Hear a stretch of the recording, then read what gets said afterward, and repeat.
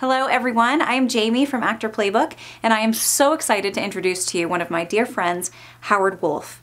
You can get straight from the director's mouth how he finds talent, what he expects from talent even before the audition room as far as communication, what he expects in the audition room, what he expects on set, and so much more.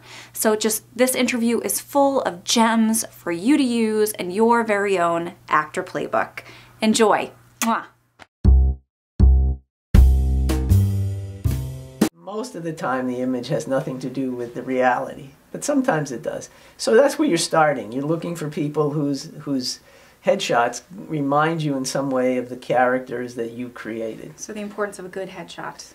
Yeah, although looks like yes, person. I was going to say don't overdo it. We've had people come in with their headshots look nothing like them.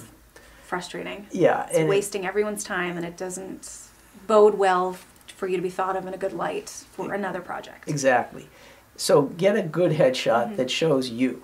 The most important Mm-hmm. Such thing great advice. The most important thing in your headshot isn't that you had an amazing makeup job or that Your hair pho- looked fabulous. right or that the photographer is really good in Photoshop. Mhm. Most important thing is that you come across being genuine. This is honestly who's going to show up at the audition. That's what's important.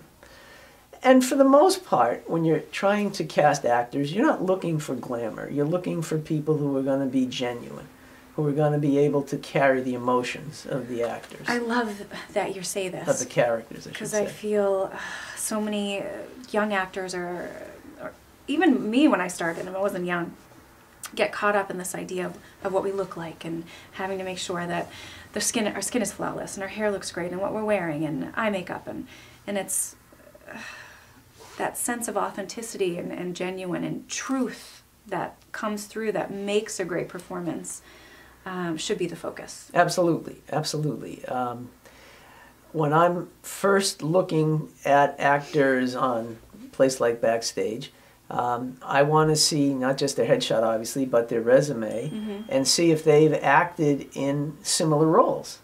Or if not, that to be honest and saying, I'm just starting out, but I really love this idea and I think I can do it. Uh, You know, honesty is the best policy. It's a cliche, but it really is true.